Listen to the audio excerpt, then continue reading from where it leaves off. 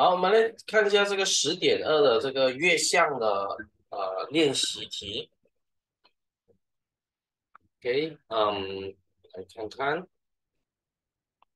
说它有配对题哦，有应该是有图的。我再开多一份来看一下那个题讲的如何。稍等一下。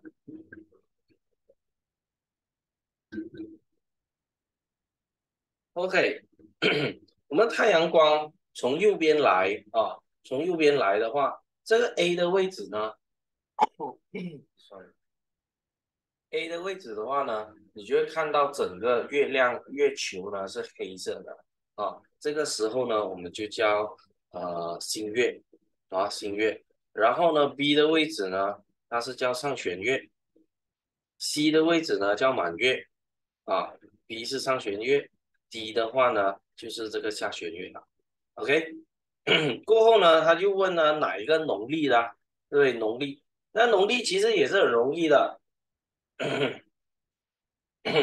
sorry，啊，从 A 开始了啊，从 A 开始呢，就初一，再加七到七点五左右，就是初七初八的时候就是 B，再加七点五就大概是十五嘛，啊，就十五的时候就是 C 的这个位置。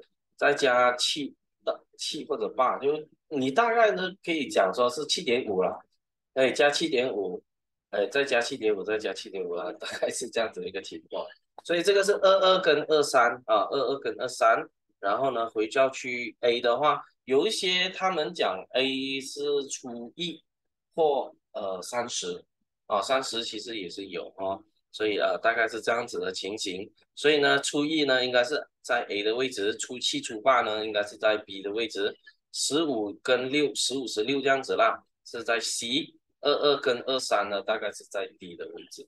OK，那这几题呢都蛮简单的。再来，什么节日呢？是一定是满月的，农历新年应该是初一吧嘛？哎，我们初一的时候。除非我们讲元宵啊，元宵节就肯定是正月十五，对吧？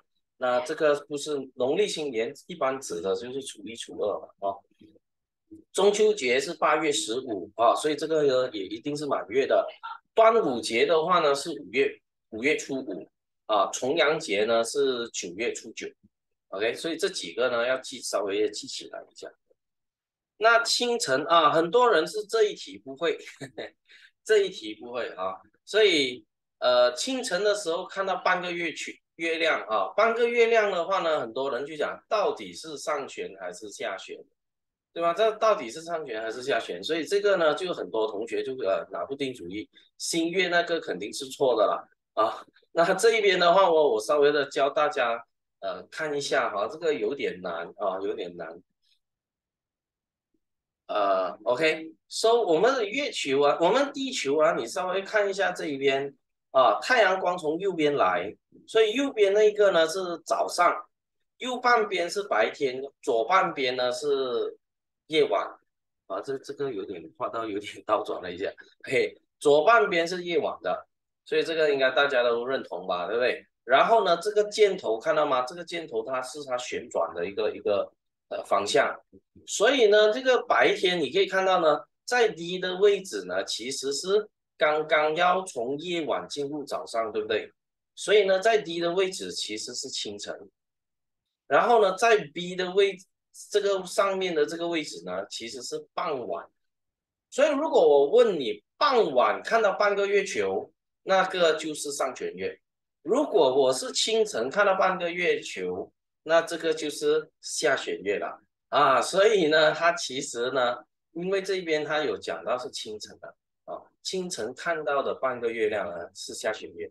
这一个呢，你虽然讲说老师这个课程没有啊，但是呢，我在上课的时候呢是有提过一下啊，这是是有提到的啊，就有讲关于说这个月球是怎样转呢？呃，什么时候你会看到半个月啊？就是在上。上面呢其实是傍晚的意思，下面呢其实是清晨的意思。所以如果你上课有听的话呢，你就会判断。不过呢，就就就一题罢了了啊，就是这一题是有少许的超出范围啊。不过就是要考一下大家有没有上课的听书了哈啊，或者我们讲说这个是呃高思维的啊题型这样子啊。OK，这大致上是这样子了。